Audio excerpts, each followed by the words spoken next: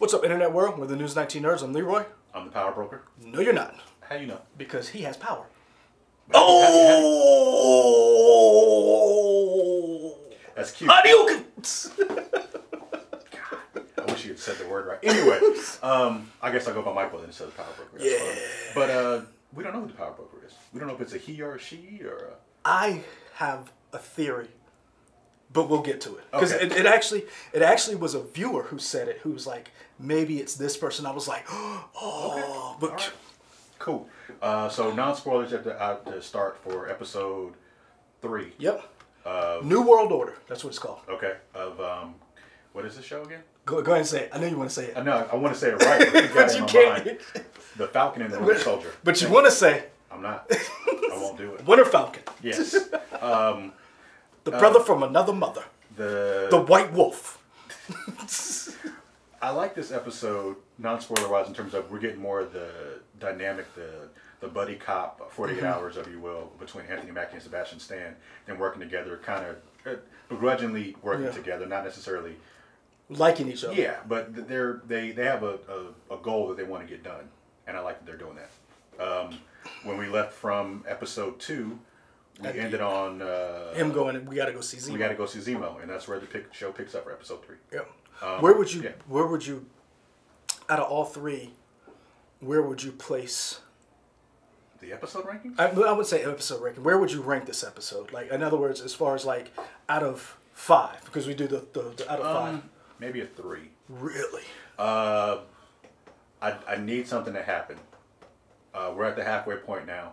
This, I, I enjoyed the action. I just feel like there wasn't a lot of plot progression for me. And I, I wanted something more. Maybe we'll get that with four, five, See, and six. I disagree. I give this a four and a half. Uh, caca, um, out of five. Mm-hmm. Okay. Because there's little nuggets that were there Uh-huh. that leads me to believe certain things, and, and and I'm looking for who said it. But if you if you if you remember who said this, s- to say it in the chat to get your credit, because I may not remember exactly who who, who did this. All But right, I- so we can get into spoilers. we're doing spoil. So Yeah. for me, this was first episode was good. Mm-hmm. Second episode is still the best in my opinion, Sure. and this really and this one is third episode, but second best overall Okay. because of the little nuggets and plot points we've gotten. You talk about the power broker. Uh, a viewer, uh, uh, one somebody, and I don't. I'm sorry, I cannot remember. I, I want to say it was Low Life, or it could have been D. Stiesel. Somebody said the power broker is Thunderbolt Ross, and it and it to me that theory has credence because Nigel, who was the doctor, worked for the CIA, and Thunderbolt Ross being the the, the director of intelligence was the deputy director, or the, Isn't he the Department of Defense? Depart, whatever his secretary, whatever- right? secretary of defense, Yeah. whatever his title was, he would.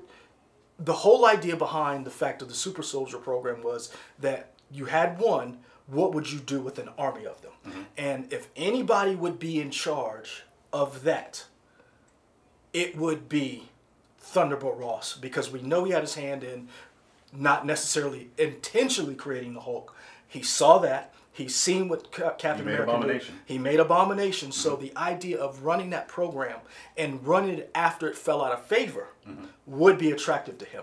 So you don't buy into the theories of it being Zemo or Sharon Carter? Nope. Okay. Now Those are red herrings to you? I think those are red herrings only because if the po- because the power broker sent people and, and Zemo was basically we need to stay away because if you're the power broker, Mm-hmm. you would not walk through Madripoor, which was a when it- they said Madripoor, Yeah, I did- lost that meant my nothing to me until I read about it. But you were just like, Dad, this is it. this that blew my mind. So do you think we have mutants next week? What do you No, I don't. Well, Okay. I, I don't know. But this is the thing: the fact that they introduced Madripoor means that mutants are that they have a vision, an idea. Because Madripoor, Hey, you want to know a secret? what I thought that was a real place. I did too when I used to read the comics. Okay. I didn't know it was like port. When I looked it up. when I Oh, read the comics, when I read the comics, I was like, that's got to be a real place. And I'm like, this is before Google. Yeah. So when they said it, I had to go to the library. Yeah. I had to look this shit up. Yeah. and then I had to come to find out, oh, this is not a real place. No. I, I mean, talking, I'm talking Encyclopedia Britannica lookup. Wow. Yeah. Okay. Great. Um, show my age there. yeah. So when they said Madripoor, and Zemo was like, "We need to not run afoul. We don't have pull like we would anyplace else." Mm-hmm. That let me know this is a place that even Zemo walks treads carefully. I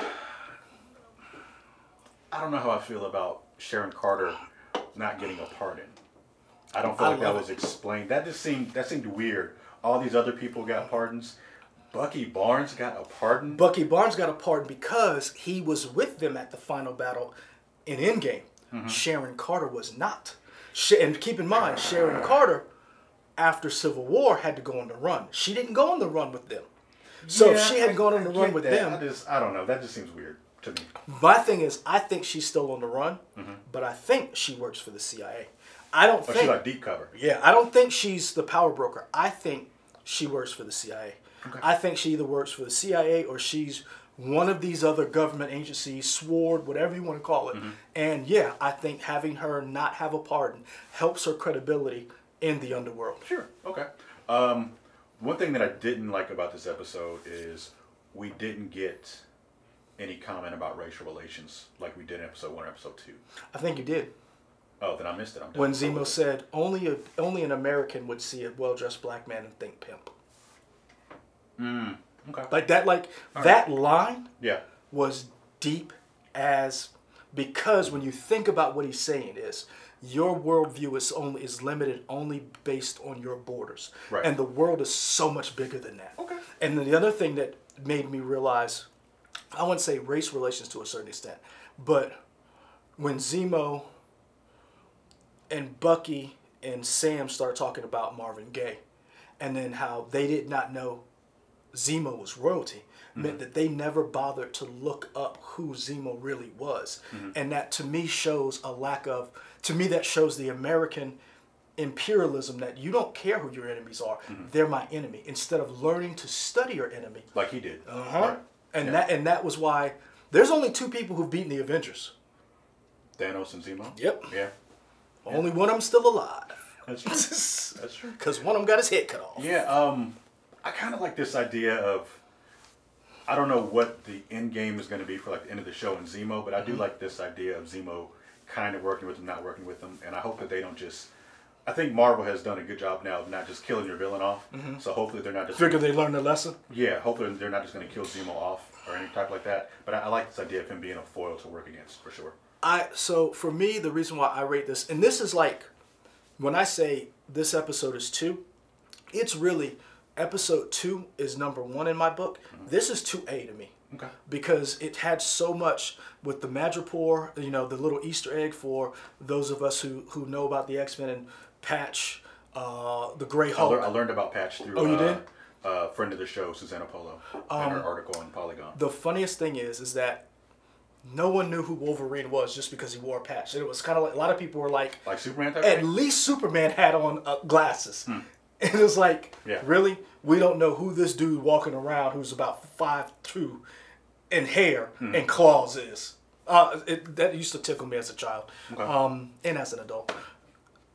You got that and the little, the dynamic of these relationships and the fact that Zemo, that first scene between Zemo and Bucky was very powerful because Zemo's explaining to him, you were just a means to an end. It wasn't personal. I'm sorry this happened to you, Yeah. but I had a mission and you were an obstacle. And he's not he doesn't hate Bucky. He hates what Bucky represents. Right. The fact that super soldiers should not exist. And he's willing to do whatever it takes to make sure they don't exist. Mm-hmm. I thought that was very interesting. I Sam to me took a little backseat to this mm-hmm. because the thing about Sam, I feel like it's interesting. It's it goes into that idea that there's layers to this, and I, there's a, another word that goes with that, and I'm trying to remember who said that. There's layers, man. Um, yes, Sam could talk about the racial relations that happened in America and try to explain to Bucky, but then Bucky comes back with, "Oh, you thought it was bad? You didn't know it was this bad. Let me introduce you to Patient Zero, and Patient Zero." Was the guy that they were experimenting on. Yeah. And Sam's mind is being blown by the fact of he's understanding that the world and his country is a little bit more complex than he ever thought it was. Right. And I think that's a very, very interesting Right. as far as going forward to show how this man is eventually going to take the mantle, in my opinion, Right. of Captain America. For sure. Um, do we think that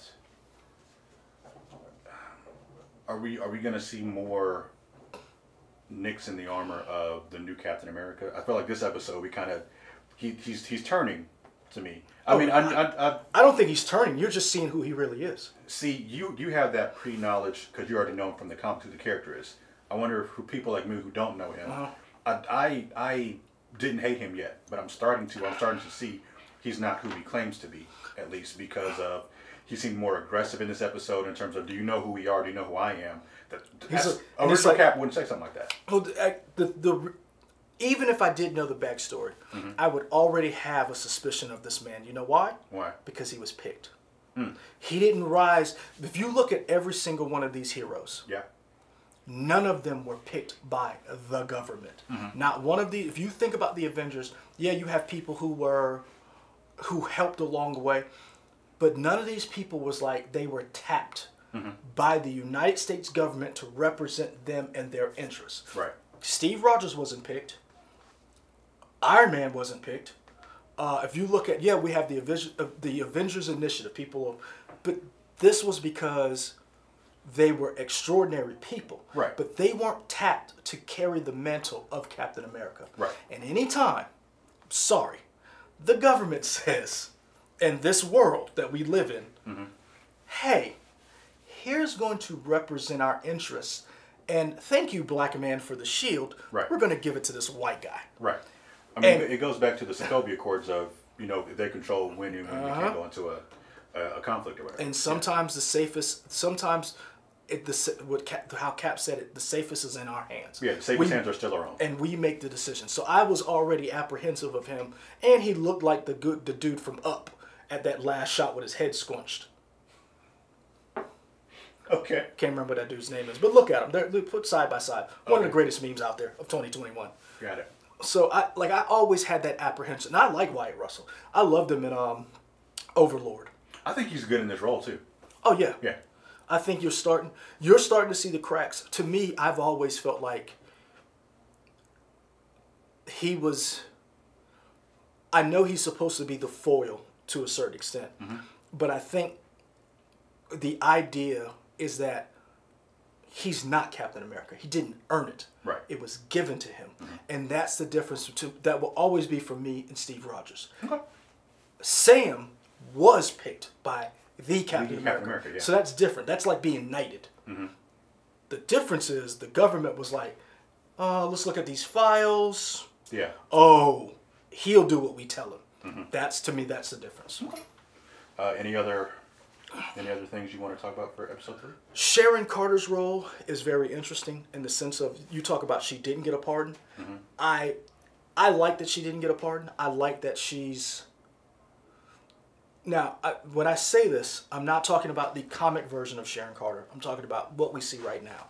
Sharon Carter may be an altruistic and, and, and see the world I, I, idealistically, but her job has always been she worked for S.H.I.E.L.D., she watched Captain America. She was a spy. She is a spy. Mm-hmm. And there's a certain type of person who is a spy versus a certain type of person who is a soldier. Mm-hmm. And so, to me, this fits her role very well For what we've seen. for what we've seen. So I'm I'm a little upset that we now we're just now getting to Zemo and Sharon Carter. Uh, I like the fact a lot of people are not really happy with the Flag Smashers. Yeah, I think they're gonna get uh, before we we didn't get to Wakanda. That's at the end, but I, I'm getting there. Oh, but, that- okay. but see, Gotcha. that's the thing. There's a difference between being a spy and a soldier. Mm-hmm. Um, the Flag Smashers are soldiers. Mm-hmm. They're not spies. They're not. You can tell they're not. They're not very learned in the sense of how they're handling things. Sure. But we're noticing they're growing up because we see Carly blow up that installation Mm-hmm. and they're moving from being Robin Hoods to being full fledged terrorists. Before the media could easily paint them, and it and they could easily say we're robbing from the rich, giving to the poor. With that act, they Right. have definitely stepped their game up to being a threat.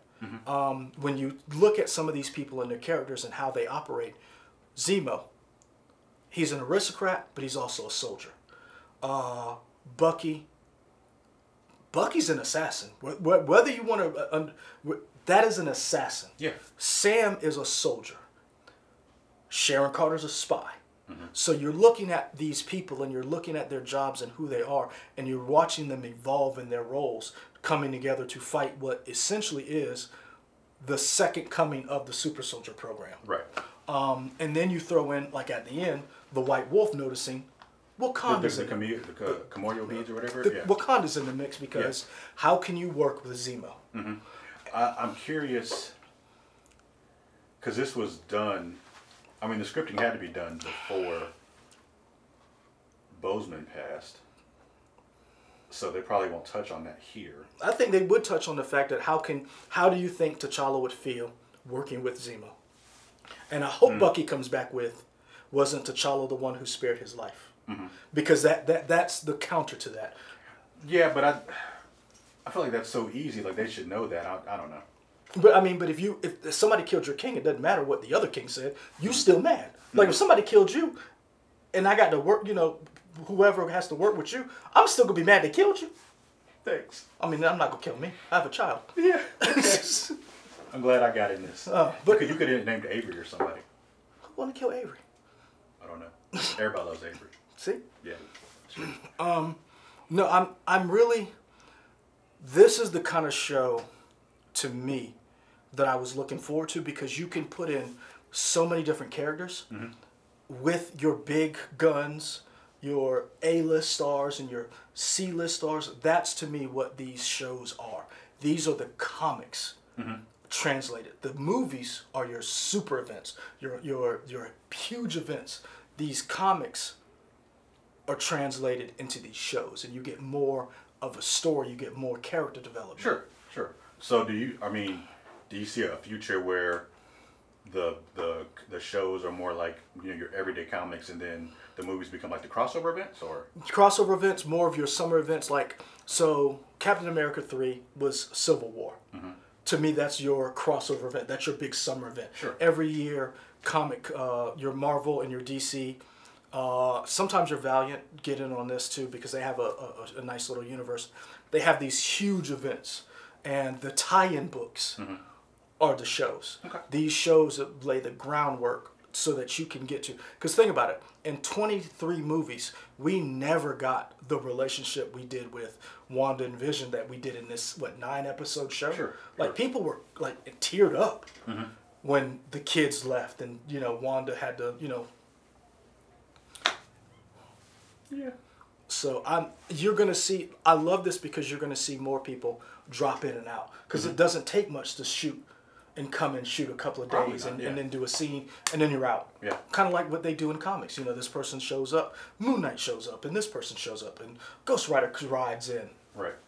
Yeah. Um, show continues to continues to to surpass our expectations. Um, even though I didn't like this episode as much, I still enjoy the show overall, and um, I'm excited to see where episode four goes and where what we're gonna get. One thing I will say that shows you the vision of Marvel mm-hmm. Winter Soldier, Falcon and Winter Soldier, the show is essentially what G.I. Joe should be. Hmm. And, no, in, in three episodes, we've gotten a better G.I. Joe premise mm-hmm. than we did in any of those movies they made. I mean, Rise of Cobra's pretty great. No, it's not. It's literally trash set on fire, rolled down a hill into an orphanage. I mean, I don't think it literally is that. It is literally That that's not what happened. That's when, I, when it opens. That's all I see. I see Okay. somebody with a dumpster tossing gasoline, and uh, okay. and they're like, "See that orphanage down there? Watch this." And then Steve-O comes in. and is like, "This is the episode of Jackass." That's exactly what those those movies are terrible. I like The Rock. I like Channing Tatum. I even like The Wayans Kid, but those movies are terrible. Oh, but Wayans Kid. He's older than you. Is he? Pretty sure he is. Eh, All right. we'll All right. agree to disagree. All right. Um, but no, I, I just when you look at this show, especially action in this episode, and you realize you saw in the first episode you saw Falcon with his wings and taking on people. Then you saw Bucky being an assassin. Then you see Zemo in this episode, Sharon Carter, and you see the super soldier. You realize, and you're like, oh my gosh! Imagine if GI Joe looked like this, and you're like, this is GI Joe. Yeah. Marvel basically took G.I. Joe and was like, hey, let me borrow that, and turned it into the Winter Falcon show. The Winter Falcon show. Um, you gonna wrap up with that? All right, guys, um, this is our opinion on the show, guys and gals, uh, guys and dolls, whatever you identify as. So we want to hear from you. Let us know in the comments. Uh, hit that bell, whatever it is. Um, that's up to y'all. You don't want to hit the bell? That's fine. We can still make stuff. But if you want to know when we make stuff, hit that bell. You're so antagonistic. You can also find us on Twitter, Instagram, Facebook, WLTX. And that's it. We're out.